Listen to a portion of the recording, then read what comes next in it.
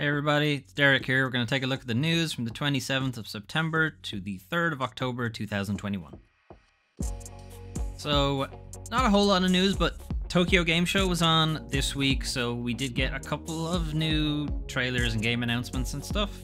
Um, nothing massively new. It's, Tokyo Game Show is mostly targeted at Japanese um, market. Oh, it's a lot of games that we kind of already knew about, but they're just kind of showing them off for Japan more or less. But one thing we did get a look at now is um, Gungrave Gore, which is the latest entry to Gungrave. Now, to be honest, I don't have. I'm not super familiar with Gungrave, but this trailer is hilarious. it's just really fucking stupid. So I kind of feel like I need to play it. And then looking at the gameplay, I'm kind of like, why have I never played Gungrave? Because it looks kind of cool.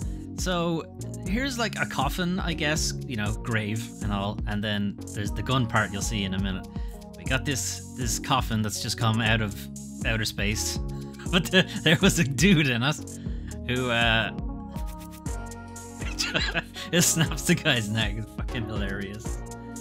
And of course, the coffin transformed into a giant gun and he also has he also has guns. This game is kind of ridiculous, basically. It's kind of very over the top anime, very gory also, but sort of like cartoonish levels of it.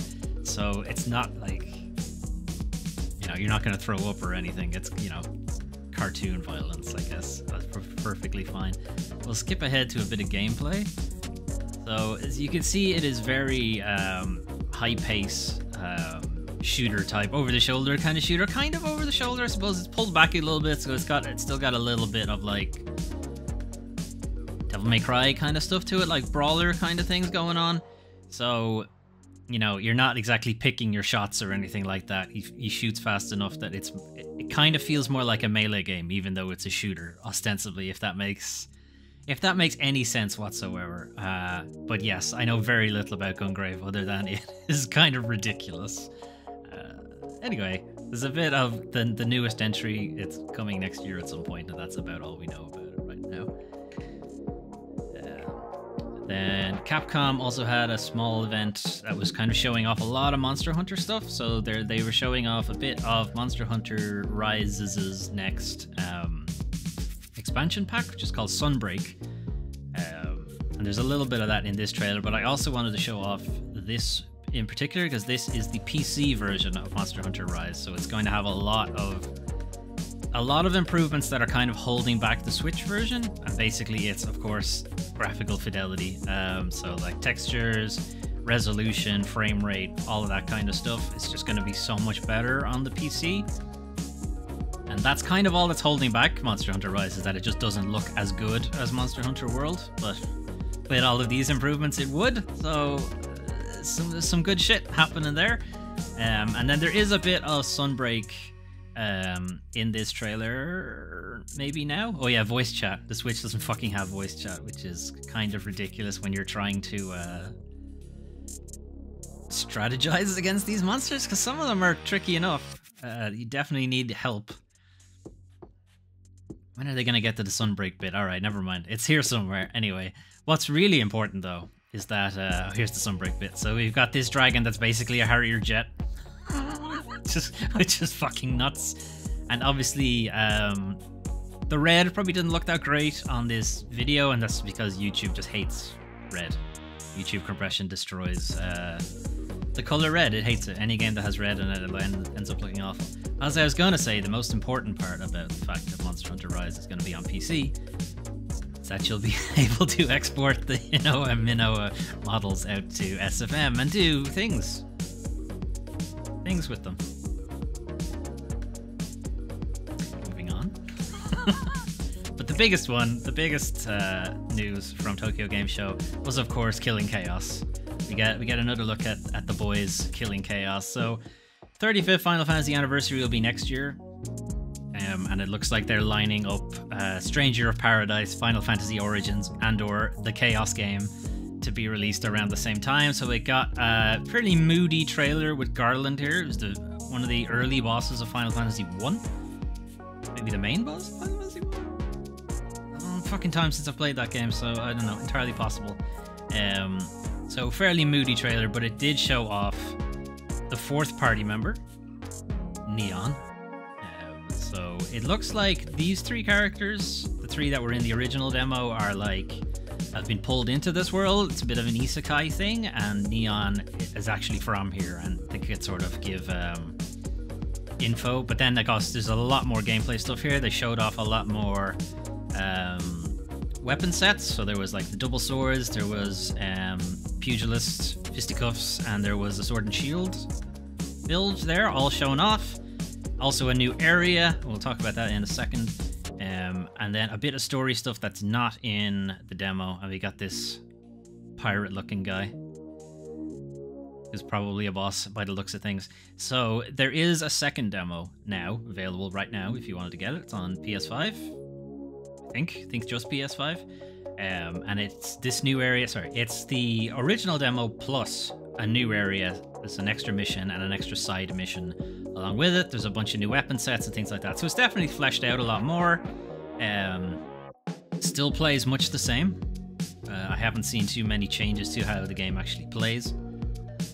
But there is, I think, a new difficulty setting. So there's two new difficulty settings for easier or harder. And then there's an even, even more easier version called casual mode, which practically plays the game for you. Um, the new area is kind of interesting because and this has been mentioned in a couple of different articles, but I did notice it myself playing the demo. It feels a very Final Fantasy 13. Like, it has a similar um, weather switching mechanic that was in Final Fantasy 13, and it has a very similar music. Like, like there are there are beats to the background music that sound like they're from Final Fantasy 13, and I am kind of curious where they're going with that. Because if there's a if there's a thing that we're gonna bring in all the Final Fantasies into this game, then that will be nuts. I probably don't think it's that way. I think maybe they were just harkening back to it and just being like, yeah, we know this weather switching thing is from there, so let's just put it in. But I don't know. It looks pretty good. Um, I, I, I, I'm not sure if I'm going to play the demo for the channel again, the second demo, because game's hard. like, and it's frustrating enough. Uh, if you watched the first video, you'll know I had a bit of trouble with the boss. Um, and I don't really want to do that again for a second boss. That's also kind of hard. and a third boss that's also kind of hard. Um, the, there's a third side mission that uh, basically has the two bosses back to back, and that's that's, that's pretty hard, man. That's pretty pretty fucking tough. Okay. Um, small update here, small but also sort of um, megaton, is um, Resident Evil 4 VR. Uh, it will be out soon. It'll actually be out this month, a couple of weeks. Um, so there's a trailer kind of reminding you, and unfortunately, it's also reminding you that it is exclusive to the Oculus Quest 2, which. Here's the thing the Oculus Quest is a good machine, because it's like a standalone VR thing that's actually pretty decent. Um, it can like it's got pretty decent specs. The problem is it's so intrinsically tied to Facebook that I don't want to touch it. But I really want to play Resident Evil, Resident Evil 4 on VR. So here is a video from, um, sorry, I'll start from the start. This is a video from uh, IGN. They did a hands-on preview of the VR title itself, so it's a bit longer. There's a bit of gameplay, and it shows off some of the features and some of the changes.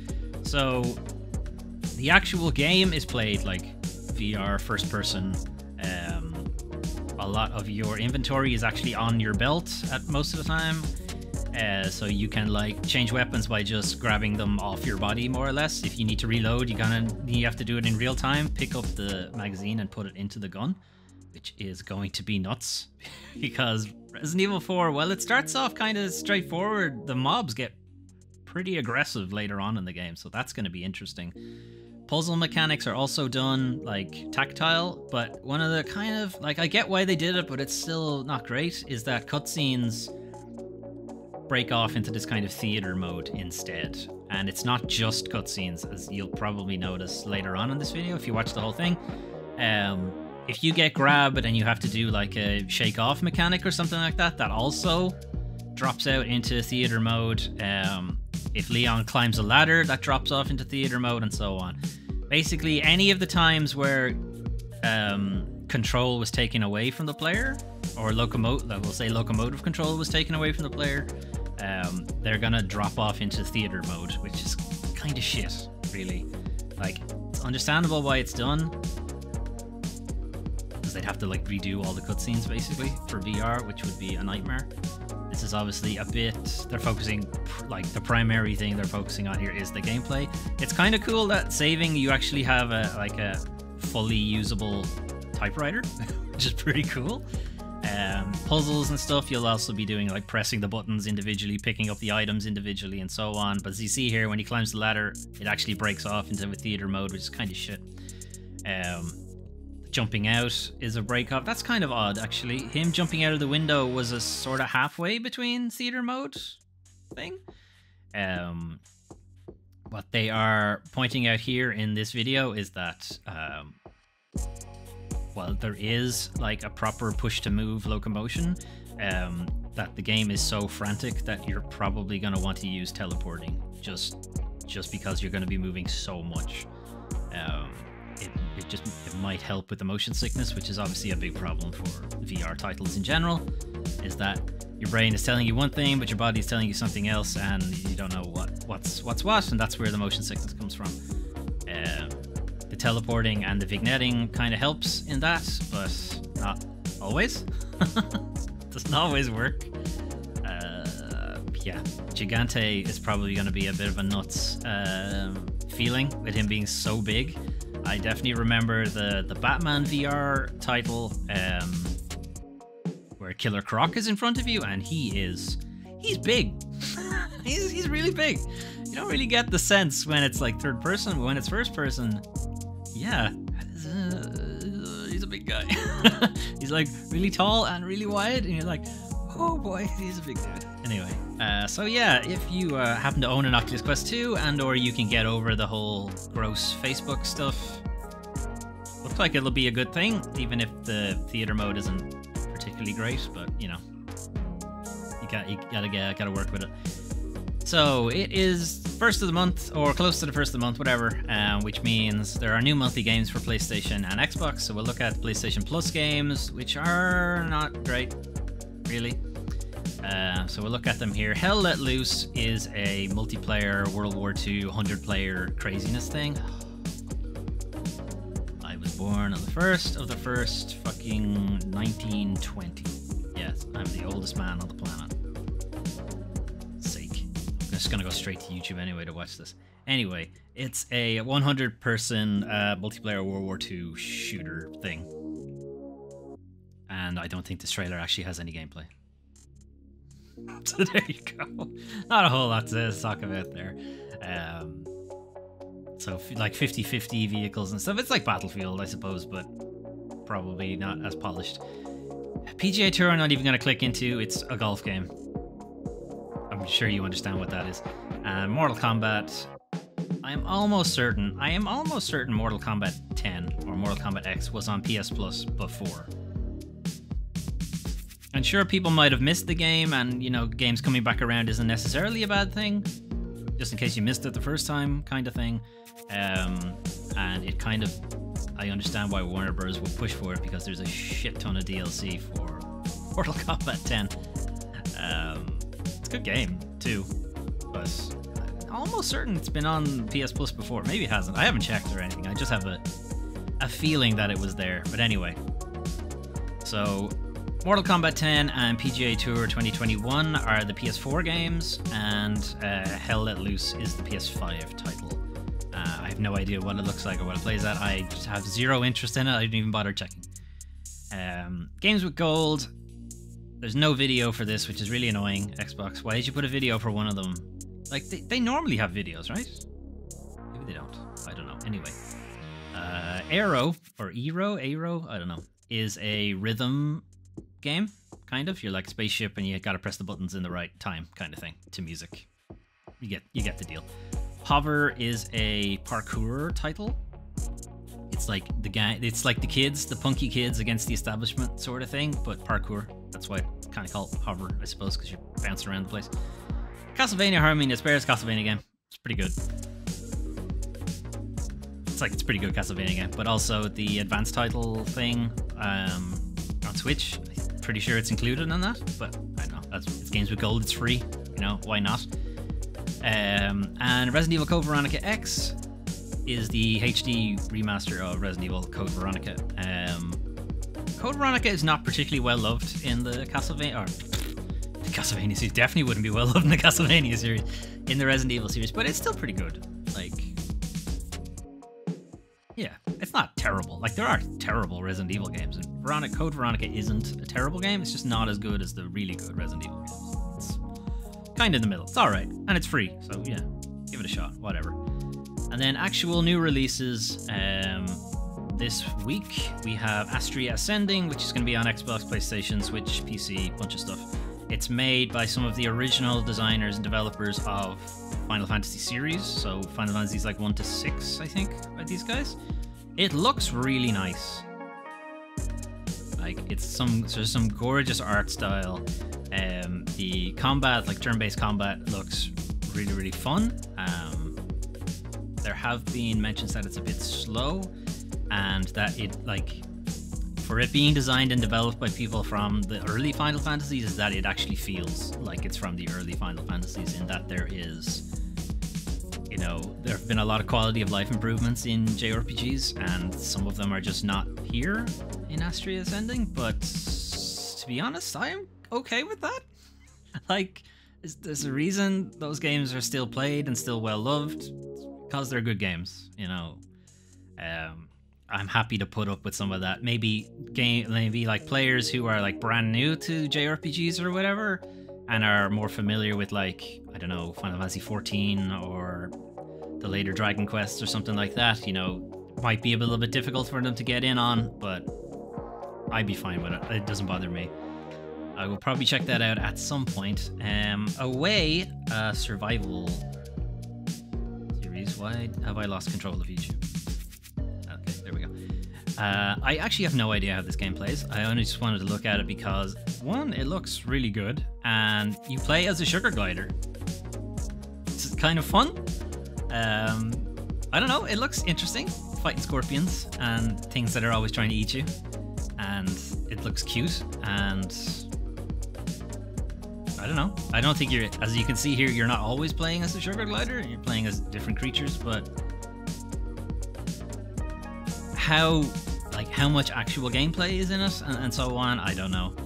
Um, I don't know enough about the game. I kind of just saw it on a couple of sizzle reels that Sony have put out a few times, and it just looks just looks really good. Know how well it actually plays, no idea, but it looks interesting. And then Outer Wilds, uh, Echoes of the Eye. I have started playing Outer Wilds and then stopped playing it, and then started playing it and then stopped playing it. So I've kind of gone back and forth with it. Um, I do like its kind of open-ended exploration stuff, but I also don't like it because I'm like, what, where do I fucking go? What is the what is the critical path and so on? Am I missing things? Am I doing something before I'm supposed to do something else? It kind of gets a bit confusing to me. But I won't deny it's a good game. Like it's it's very interesting, and Echoes of the Eye is just more of it, and it has been getting a lot of good press, uh, a lot of good reviews. I haven't looked into any gameplay around it because I don't want to be spoiled, but from what I've seen, people who like Outer Wilds really like Echoes of the Eye as well. So probably something to check out. And if you were unaware that it was out, it's out now on on all of the platforms that it was already on, I suppose. Okay, it is now time to talk about the worst part of video games, the video game industry. So, there was very briefly news about Activision Blizzard um, last week where they were being um, investigated by the SEC, but then kind of thrown in right at the end is that they were also being investigated by the Equal Employment Opportunity Commission. And that that investigation had been going on for quite some time. It is actually, the commission has been investigating uh, Activision Blizzard from as early as September 2018. So they've been doing this one for quite some time. However, the really, really shit part is that they've settled with Activision Blizzard for a fucking piddling amount of money compared to what Activision Blizzard actually makes. So Activision Blizzard has agreed to set aside $18 million for employees who experience harassment and discrimination at the company. Um, claimants who have experienced horrible shit um, can now apply directly to the EEOC, um, the Equal Employment Opportunity Commission, uh, and they will determine how much they are um, to be awarded and so on. Any leftover money will be donated to charities. Okay, one, yes, they've been held accountable, but two, they've basically just thrown money at it to make the problem go away. Which means nothing's really going to change at the company. Like, $18 million. So, $18 million has raised eyebrows among those comparing it to the billions raked in in every year by the publisher. Activision Blizzard last year reported revenues of $8.1 billion. And they just said, uh, here's some money I found behind the couch kind of thing. It's this isn't justice, basically. Nothing will actually happen to the company. Heads won't roll about it. It's like a almost four year investigation and they got basically nothing.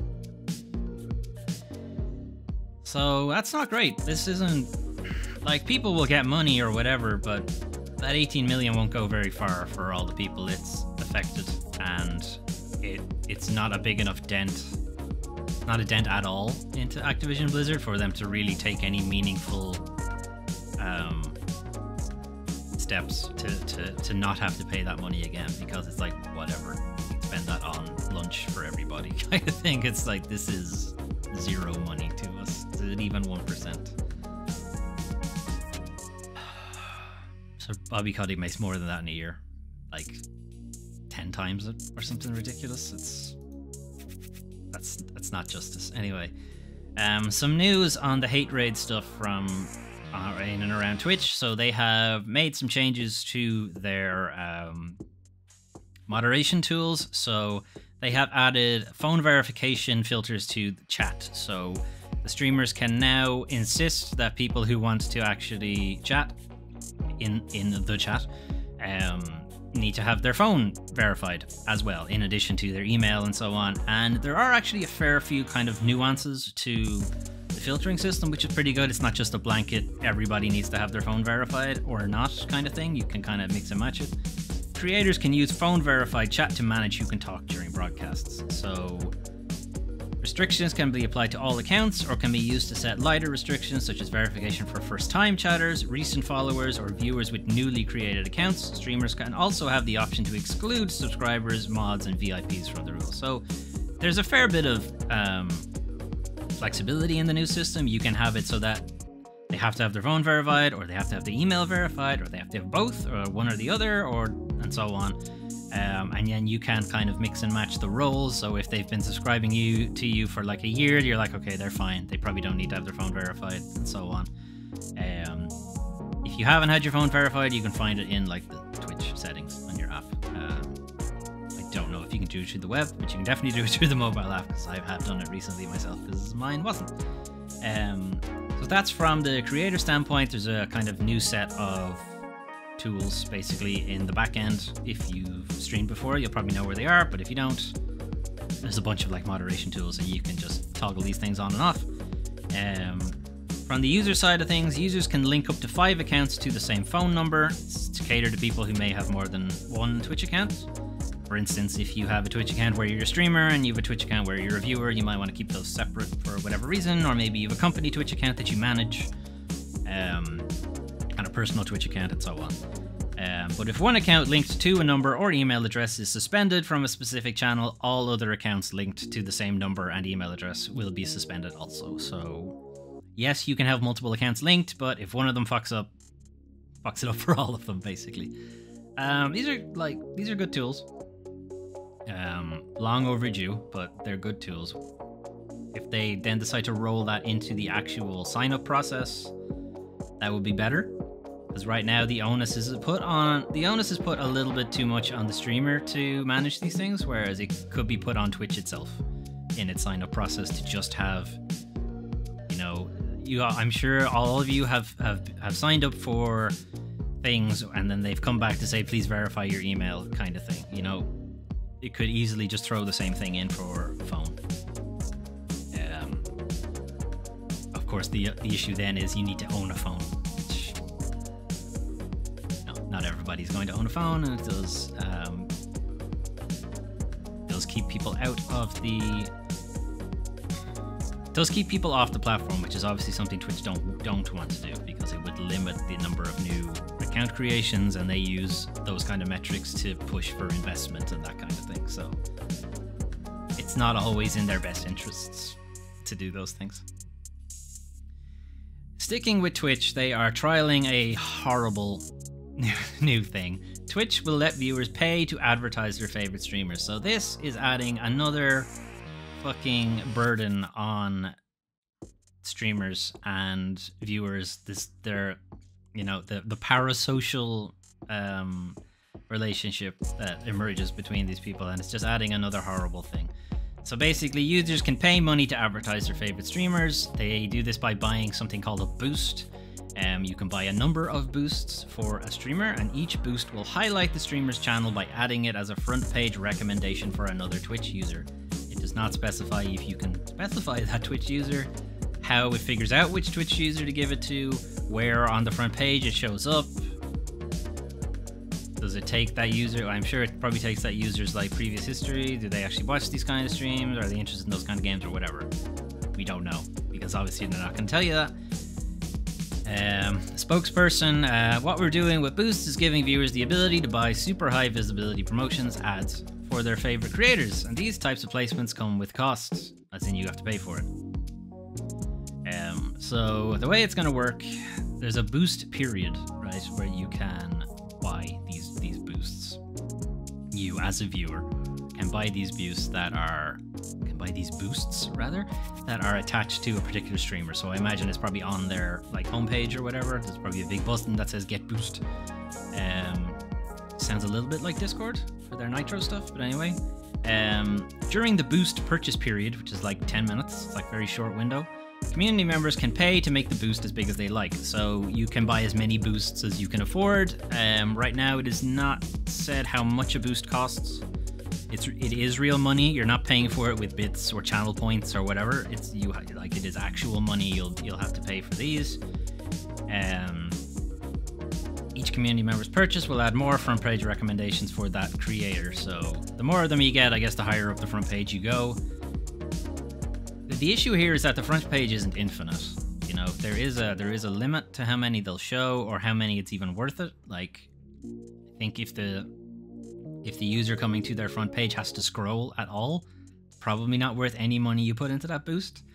It's kind of like the same with like Google results. If you have to go past page one, you kind of fucked up with your SEO, sort of thing. Um, so uh, the spokesperson was kind of pointing out, or maybe it was pointed out to them, um, that the boost functionality is very similar to another community challenge that took place last year um, at Christmas, which was um, resulted in, in over 100,000 streamer yeah, recommendations, was wrong with me today, being purchased.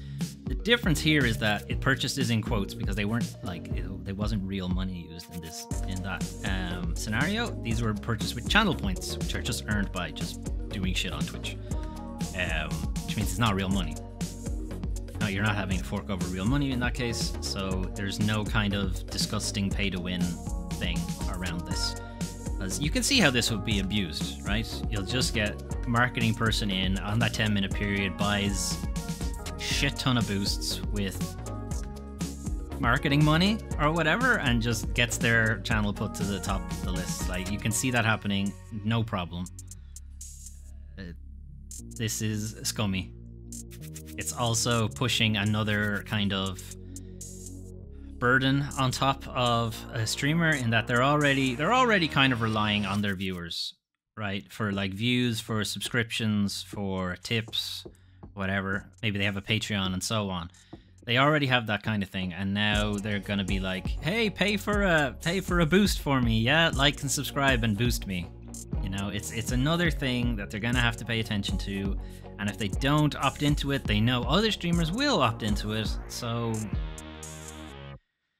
you're kind of fucked either way, basically. And really, Twitch should be doing this themselves. Twitch should be going around to notice that people um, are in need of promotion. Like they're already saying that this is a response to creators wanting to be wanting to be able to promote basically better than what they already have, which is pretty much putting up a stream in the void and hoping a couple of people see your tweet about it. Like it's not great. YouTube is much the same, only so much worse because uh, like Twitch is primarily gaming stuff, whereas YouTube is yeah, there's a lot of gaming stuff on YouTube. It's a sizable part of it, but there's also a shit ton of other stuff on YouTube. Um, so getting your view, getting your videos seen. I mean, you can just look down at the views on this video. Like, it doesn't happen. It's not easy to do. Promote self promotion is very difficult. Difficult to stand out from, and Twitch are just kind of making it difficult here because this will just cement the people who already have a lot of viewers. Like this won't help. This won't help the person who has no like one or two viewers because they're only gonna like assuming even if we assume all of those viewers pay for it. Um, it's still two versus like two thousand. You know, there's only so many boosts they could pay unless your viewers are like billionaires. not. Not really. This system won't help anybody. This will only cement the people who are already at the top. So, not great. Okay, moving on. So we're going to look at Sony for a bit. So this is uh, old news, kind of. Um, Sony is buying or has bought, has acquired Bluepoint Games, who are behind the the um, Shadow of the Colossus remake and more recently the Demon Souls remake. So this, why I say it's old news is that we kind of knew about this a while ago, um, because Sony tweeted out a, a picture of them as, um, you know, PlayStation Cross Bluepoint Games at the same time when they had acquired Housemarque, um, and it is suggested that maybe somebody got the logos mixed up or whatever, and they put it out the put out the wrong tweet. But the fact that it existed in the first place, or that the image existed in the first place, um, would suggest that they were in talks or were just finalizing talks or whatever. But the thing is, we kind of knew already. we kind of knew that they had bought them. Um, and it was already kind of assumed because Bluepoint Games for a long time now have been working almost exclusively on Sony-owned IPs. Um, they're behind a lot of the they're behind the HD ports of God of War, which is a PlayStation-owned IP and the HD ports of Metal Gear Solid, which is not a PlayStation owned IP, but whatever, close enough. And then Shadow of the Colossus remake was PS4 exclusive, and the Demon Souls remake is PS5 exclusive. So, you know, they were pretty much in Sony's pocket, or not in Sony's pocket, but hand in hand with Sony, being fed by the. I don't know. Some metaphor works there, but the point is, they were kind of already um, so having like a press release and talking about it and so on, um, Bluepoint have come out to say that our next project we're working on original content right now. We can't talk about what it is, but that's the next step in the evolution for us. It's important to note that it's original content and not original game or original IP or any of those things because there have been a lot of articles going around that have been saying that Bluepoint are going to be making their own game and that quote doesn't necessarily mean that. It doesn't necessarily mean they're going to make their own IP. It doesn't necessarily mean they're making a brand new game and so on. Original content could be anything. You know, it could be DLC, it could be a new level, it could be a sequel, it could be so many other things. You know, there's there's a lot of things there. But yeah, not surprised that Sony have bought Bluepoint because we kind of assumed they had already done that. okay, so, continuing with companies doing trialing things that maybe they should think about a little bit more than not at all.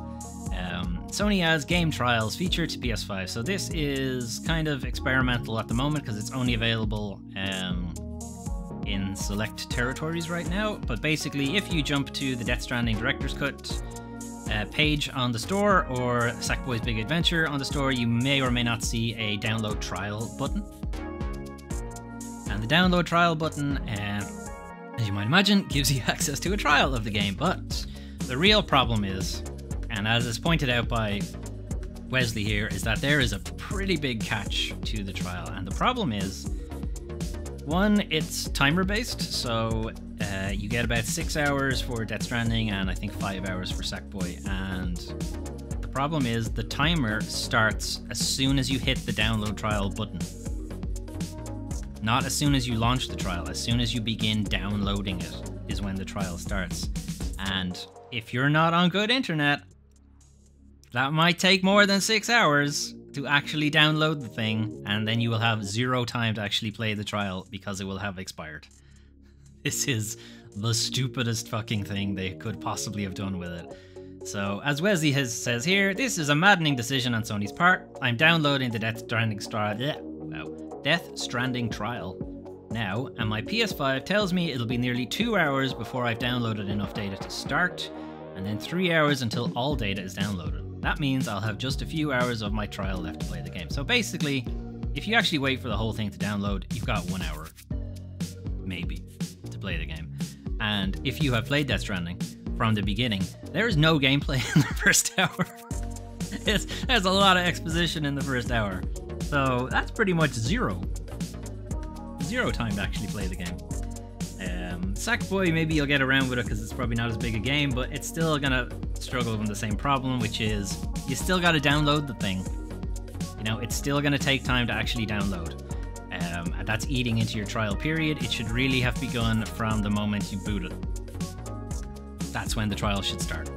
Um, there is a workaround if you want to. It's kind of a bit shitty, but there is a workaround to do it. You basically you make a dummy account.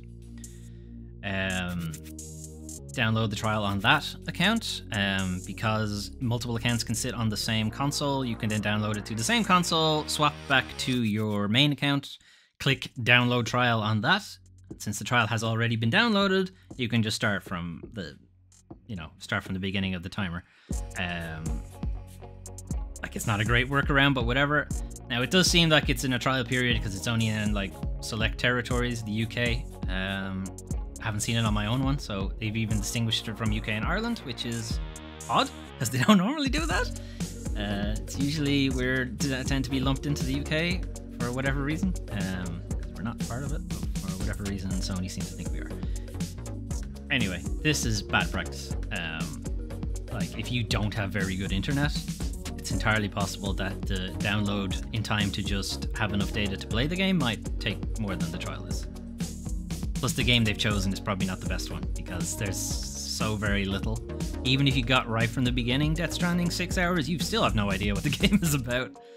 Uh, it is very much front loaded with exposition, and you're really just. You're still pretty much in the fucking tutorial of the game by then. It's a big game, very long game. I really like it. I people, some people don't, some people do. I quite enjoy it, but I would absolutely say six hours is not enough time to understand the game. Assuming you even get all six hours. Okay, last thing. So we're just gonna we're gonna laugh at eFootball for a bit because it always seemed like it was a terrible idea. Um, free to play uh, loot boxes and so on, but it has just been confirmed basically that it is also a shit game in, in its own right. It, it launched with a bunch of bugs, bunch of um, performance issues and so on, and just some hilarious faces.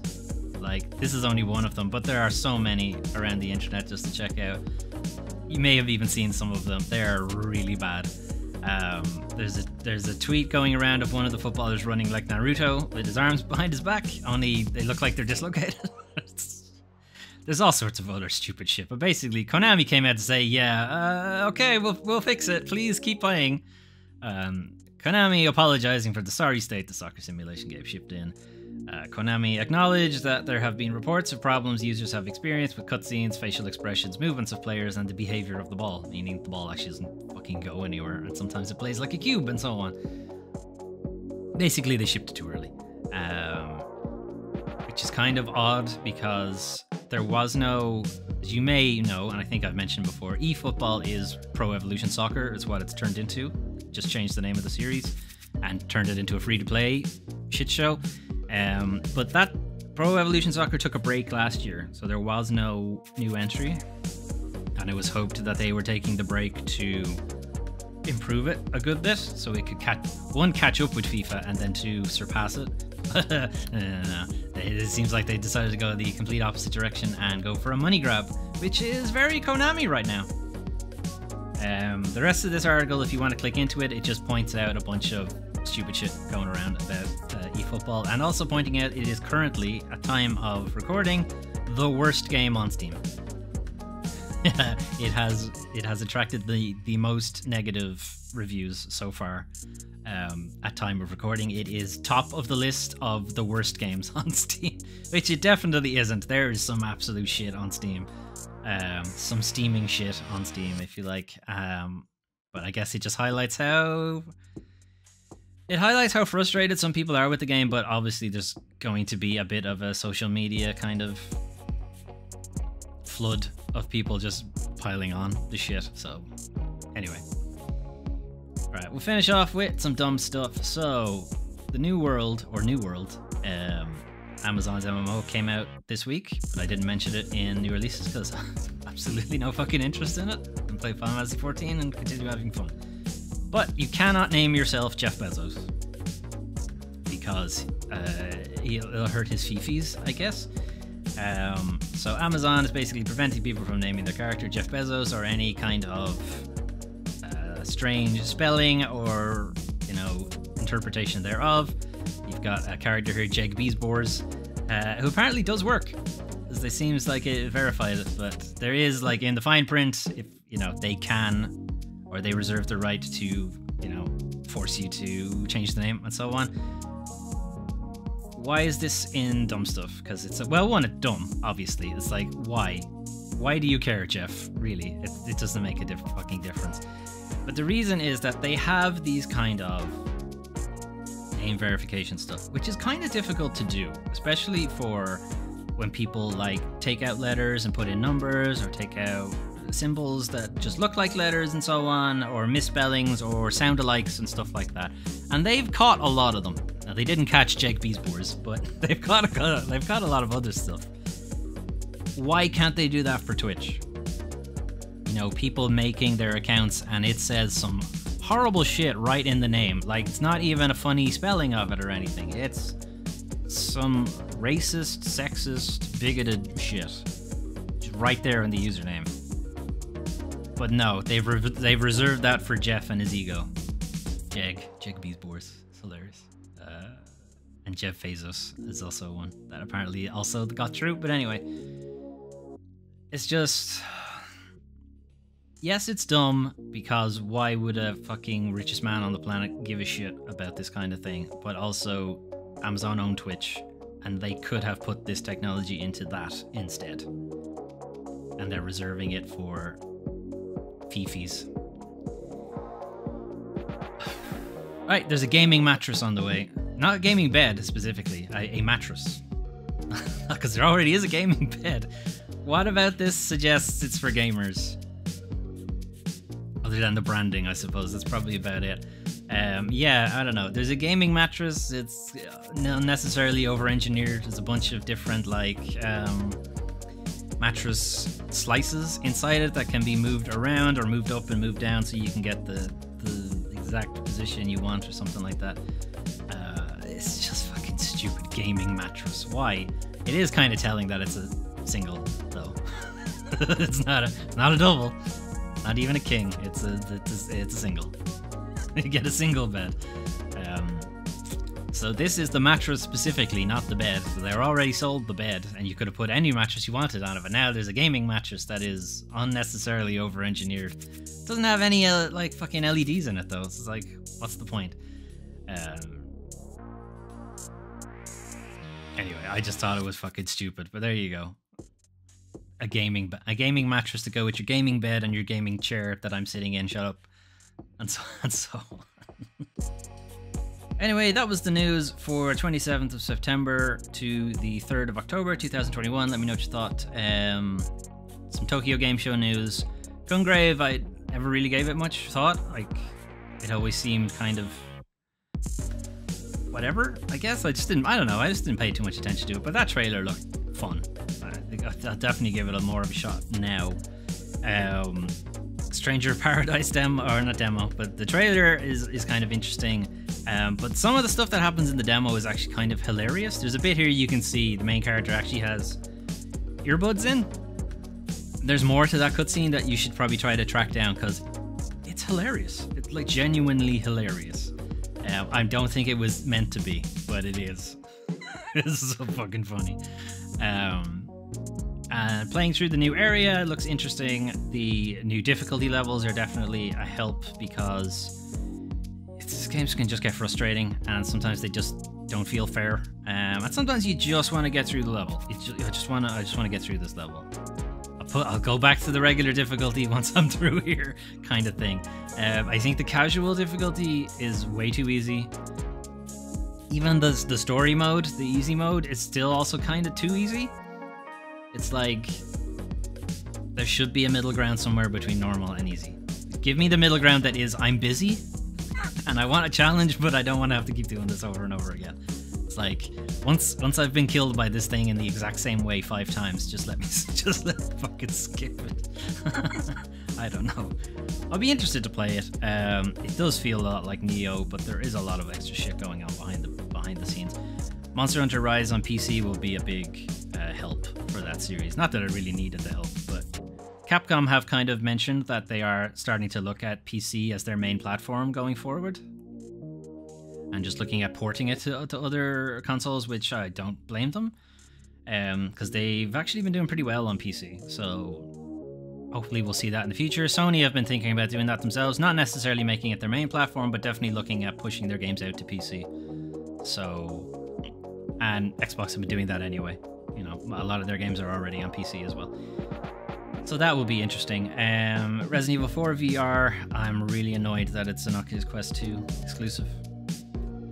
I, I don't want to go back to Facebook. I don't want to ever be associated with it again. Um, and I know there's like a shadow account there or whatever, and I can just put my email in and they'd somehow know everything about me and it would be fine. But I don't want to. I, I, I'm still hoping that they'll be forced to divest from it, but that's probably never going to happen. But anyway, we'll see. Um, and then, so it's kind of small, or not small, slow? Slow news.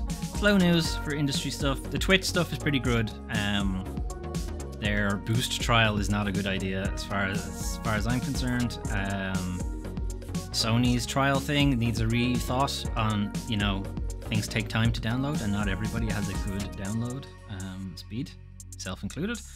Um, what else? What else happened? I can't even remember. eFootball, whatever. I just wanted to laugh at the faces, to be honest. Um,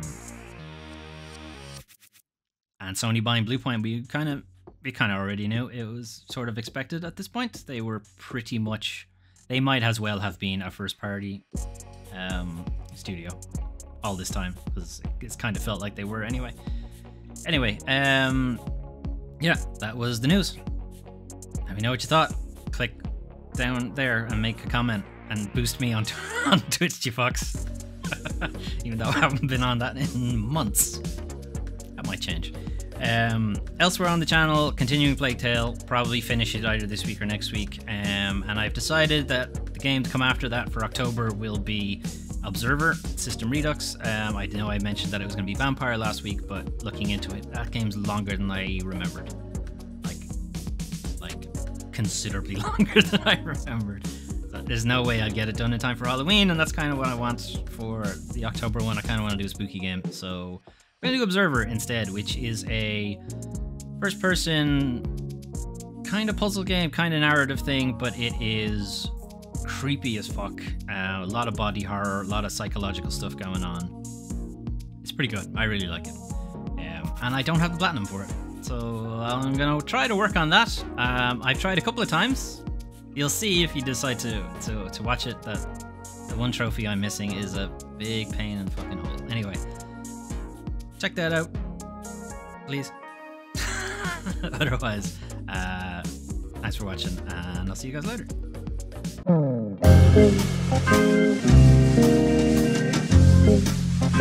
Hmm.